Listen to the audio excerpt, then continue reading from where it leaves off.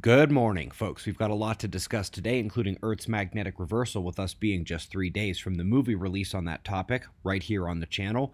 But let's begin at spaceweathernews.com and find the last day on our star was very quiet.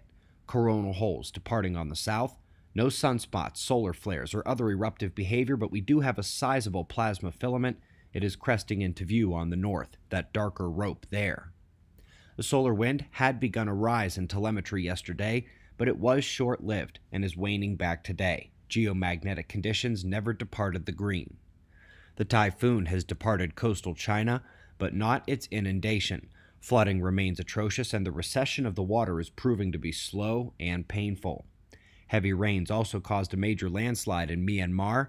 Exact death toll is not known, but the initial number came in overnight at 41. In the forecast, we come to the United States. Around sunset, the upper Midwest is going to light up, and we could see tornadoes, major hail, and flash flooding. Now, looking a bit further ahead, the second typhoon in the Philippine Sea is heading north. Let's jump ahead three days to the middle of the week and watch its forecast track impacting southern Japan. Eyes open here as the slightest shift in jet streams will send it along the east coast of the country rather than due north across the south. We've got a couple science stories to bring here, but we begin with an aesthetic piece from Hubble. Dancing galaxies with a bridge between them.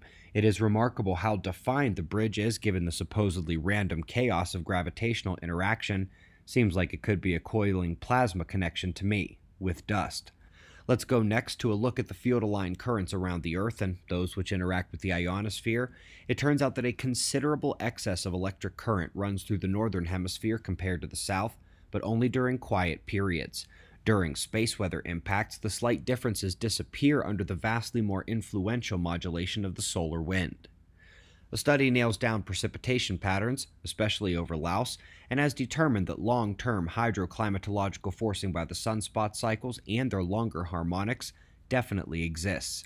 Indian Ocean precipitation force 2.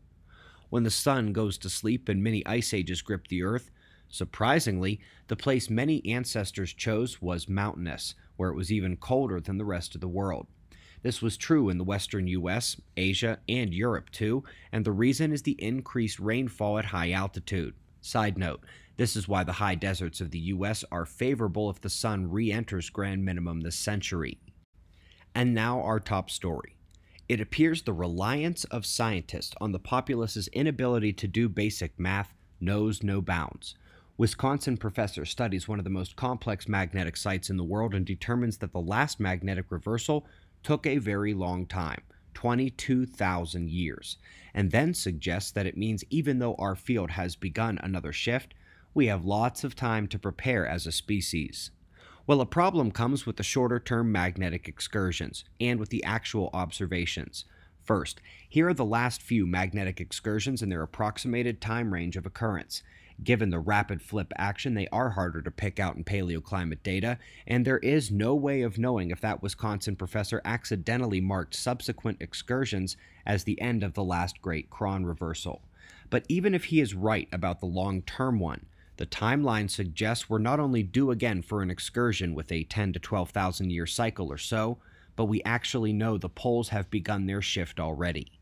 NASA said we lost 10% of the field in 2000. ESA upgraded that to 15% in 2010 and also said we had gone from losing 5% per century to 5% per decade. By the way, using those two loss rates, the full reversal period is between 2,000 and 200 years, and we are eking towards the lower range now as it's accelerating. We have been in it over 200 years already, seen accelerations, and the World Magnetic Model has endured an emergency update correction this year, so that 22,000 years number can just be thrown out the window. We're in the red zone already. Over at suspiciousobservers.org, we had our weekly Members Fly on the Wall podcast post yesterday. Solid discussion on critical topics. And we also have a deeper look episode on the record galactic infrared brightness that we reported last week, and what to look for next if it truly is the first sign of a galactic superwave. We greatly appreciate your support. That magnetic reversal full movie is just three days away. Here, we've got your wind maps and shots of our star to close, and we'll do this all again tomorrow, right here. But right now, it's 4:30 a.m. in the new Valley of the Sun. Eyes open, no fear. Be safe, everyone.